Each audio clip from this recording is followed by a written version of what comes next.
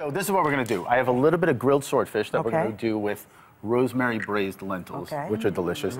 These olives that we've stuffed with sausage, but not yours, Sarah. Stuffed with sausage and then breaded and fried. So Ascolana style, which are delicious.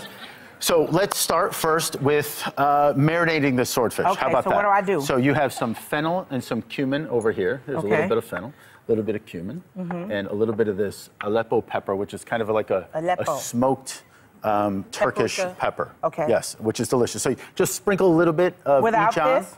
Well, no, not yet. Oh, I'm sorry. Just one thing at a time. That's all, it's all good. Just sprinkle it. You could go a little heavy as well. Yeah. Heavy? Okay. So, by the way, you're not going to catch me twerking. Aw, So- come so, on. no, no, So now what I I have my strengths. So And you on could, you other could do that. Here, what we're going to do is uh, we have this olive oil and shallots and a little bit of rosemary kind of cooking together. Okay.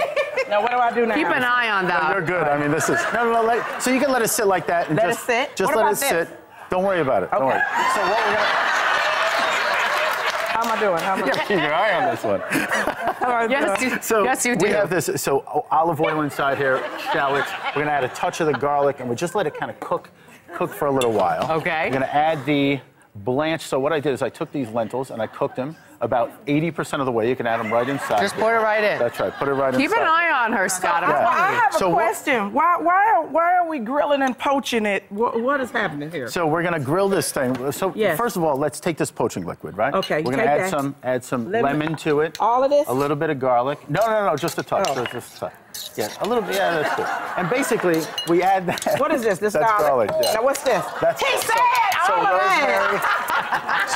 rose, so rosemary. Why are we putting thyme, that in the oil? Because this is going to taste delicious. That's why. Delicious. Now what do I do? We're going to drizzle a little bit of oil on Drizzle? there, right? Just to just to get a little bit of right, and we put it right on this grill pan. Okay. There we go. Just like that. Yeah. Okay. On thi- on this side, doesn't Well matter? Just like that. Okay. So we'll, what we do is we'll let that grill, and we'll add these. Be- She's in it. She's in it. She's in the zone. I love how you cook. Like we got to do this more often. Okay. now what do I do? So we're gonna let it cook like that. Okay. We will take this this after it's grilled. Yes. We'll take and put it directly in this olive oil. Okay. Right. And we're gonna let it poach. So we do that so we get a beautiful grill mark and beautiful flavor. And then we once we put it in the oil and we let it poach. And what is this it's fin- oil? This is just a seasoned extra virgin olive oil. Okay. With a little bit of a lemon oil inside of it. Now as what well. is lemon oil?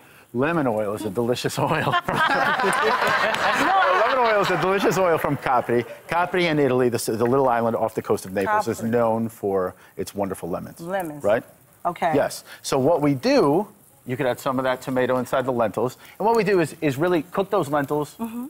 And let them braise together and finish cooking with the rosemary and the shallots and the extra virgin olive oil and this tomato. Taste this, and we have this Hold on. cooking liquid. Put that on the fork. We have this cooking liquid from the lentils. Ah. Oh, yeah.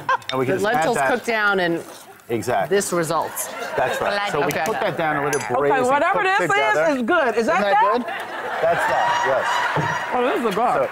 yes. So, so we have these beautiful. Ooh. Delicious. I, I, I feel like I'm on the line and it's like in a kitchen. I feel like this is Reduce, reduce the pressure. beautiful. You're sweating a little bit, This is I good. have to You got it. I thought cooking with my four-year-old was tough.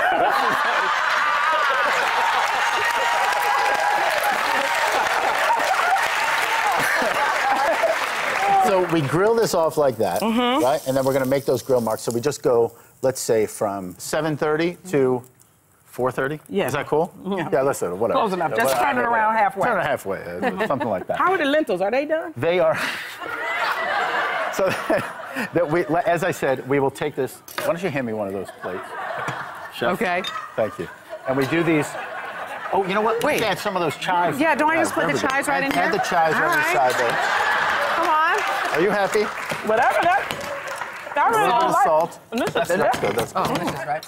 So Okay. No, spoon. This is a tough- You're not supposed to double dip when you're cooking like that. no, that. that's good. I It's need to know. You're good. So rosemary braised lentils, You got 15 seconds left, Scott. I mean, this is rough. You can